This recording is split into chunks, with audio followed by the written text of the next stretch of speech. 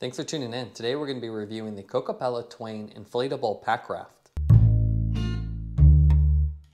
When it comes to personal watercrafts, you typically have three categories to choose from. Sleek kayaks, versatile canoes, or utilitarian rafts.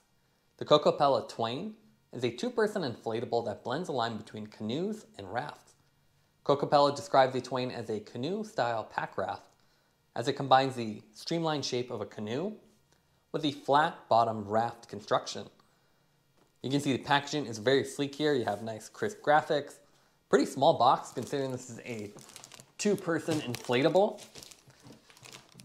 And then you have a breakdown on the back of the whole Kokopelli lineup. So they have everything from whitewater rafting, adventure series that you can just throw in your backpack, to lake style kayaks that we've actually reviewed.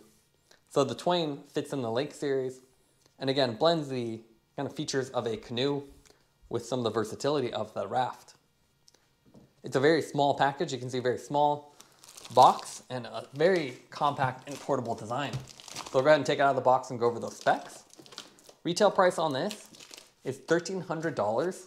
There's also an optional $150 TiZip feature and that adds some storage inside the raft itself, which is really cool. This is a canoe style pack raft again. So something you can take to the lake, throw in your backpack. It's only 13.6 pounds, which is really impressive.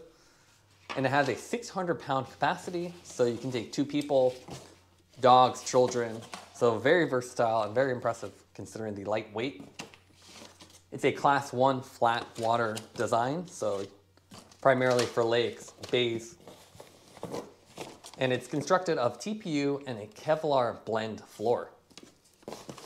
In terms of what is included, you get the EVA backrest for each seat. And on the inside, you can see the kayak itself is nicely rolled up. We'll pull that out. So very compact again, only 13.6 pounds.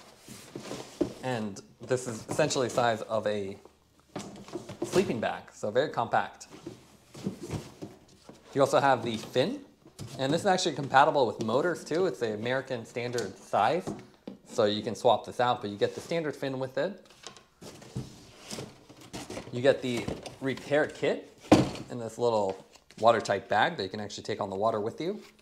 So this has a patch kit. It's a dual chamber design, so it is a pretty safe one, you don't have to worry about. You have the inflation bag. So it's kind of a cool setup. You can actually inflate, this is actually the seat, so you inflate it by hand, by your mouth here. You get two of these, obviously, for each seat. You have an inflation bag, which is kind of crazy. So obviously being designed for hiking or adventures, you don't want to carry a pump all the time, so you can actually just inflate this by hand and then pump it up. So obviously you do want to use a pump if you're going to use go to a local lake. You don't mind carrying something as it speeds up the installation. Seat backs and then the compression straps, which I think are already installed over here on the bottom. So these, uh, these will secure the seats. And that's about it. A very compact design that you can easily throw in a backpack and take to a lake. Now let's go over the setup of the Twain Packraft. As with any inflatable boat, there's a little bit of assembly required and inflation. Here we have it unrolled and you can see it's about 10 feet long. There are two chambers, one on the front and one on the rear. Here we're using the Kokopelli feather pump, which is a nice portable rechargeable pump. It's only designed to go up to about 0.2 to 0.3, well under the 1 psi they recommend.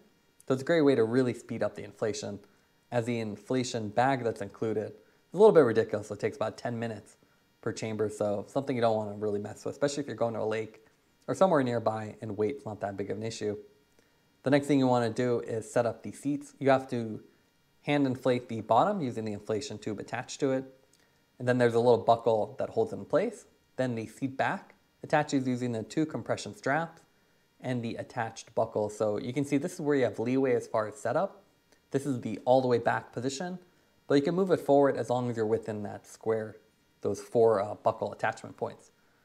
And then you want to just adjust the tension so it's tight and it'll hold it in place. So once you sit on it, if there's enough tension, it's really comfortable despite being so simple. Repeat the process for the front one. Again, they're identical. And again, here you can adjust it forward and backward depending on who's taller or how much space you need. So again, tighten it up and you're ready to ride after that essentially. The last step is to put the fin on there, which we're not showing. You just flip it over, slide it in place with the locking tab. Now before we get on the water, I want to show you the leg and storage space. You can see here with two people and me in the rear at 6'1", there really isn't that much space to spare. If you have bags or other gear, you're probably have to put it between your feet or alternatively on the front where there's four different hooks so you can put a bungee cord or something on them. You can also adjust the seating position forward and backwards so if you have someone shorter or taller, you can accommodate that. They also want to note that the floor here is non-rigid so you can see it's just a thin layer. So it feels a little bit unnerving on the water. It actually feels soft and pudgy and protrudes downward which can slow the boat down slightly. Now as far as the performance on the water, it works pretty well. It's obviously not the fastest thing out there. It has a little bit more of a streamlined shape, so it's faster than a typical raft, but nowhere near a long, sleek kayak. As far as the tracking, you can see there is a little bit of left to right wiggle, and that just depends on who's stronger and if someone's really pushing. But it does perform well, and you can also navigate really easily, so it's very nimble on the water being an inflatable design. It's really easy to turn, so you can take sharp corners, and with two people powering the boat, you can also go fairly fast and further distances. You can also set this up as a one person configuration, then you have tons of space on the front and rear. So if you have a dog or you're just going solo, that's also a good option. So you get the longer space and you can carry more gear. Being an inflatable design, obviously you want to make sure it's inflated to the proper amount, which is pretty easy to do here. It's only one PSI. So we found that nice and easy to set up and it's so lightweight that it's really a nice thing to have. You can throw it in your backpack and you can carry it by yourself unlike other ones which can be a little more bulky. So overall, we were impressed with it. It's a fun boat. It's a great way to explore harbors or flatter water. And if you go on the rougher stuff, it is a little bit low, so I do recommend sticking to the class one rating. Now, as with any inflatable, you do have to break it down too. Here, it's pretty simple. And again, it's just so lightweight. You can see how fast it rolls up. You pretty much have to deflate the seat bottoms by just holding it down and opening the valve, remove the compression straps. Make sure you don't lose them. That's one downside. They don't really attach to anything, so you want to make sure you keep them attached to the seat. Here you can see the fin and that soft bottom. So you can see there's really nothing there. Again, we use the feather pump to deflate it, which makes it really easy. And then you can roll it up. You want to make sure you clean this, so don't store it this dirty unless you want to get mold. Now let's go over the pros and cons for the Twain Packraft. What we like about it is the compact size. It folds down to about the size of a large sleeping bag, which is really impressive given the fact that it's a two-person 10-foot raft. It's also lightweight and easy to set up and break down, so there's not that many components, so you spend more time on the lake instead of on the shore. And with the two-person, 600-pound configuration, it's a really fun way to explore with a friend, whether it's your spouse or a dog.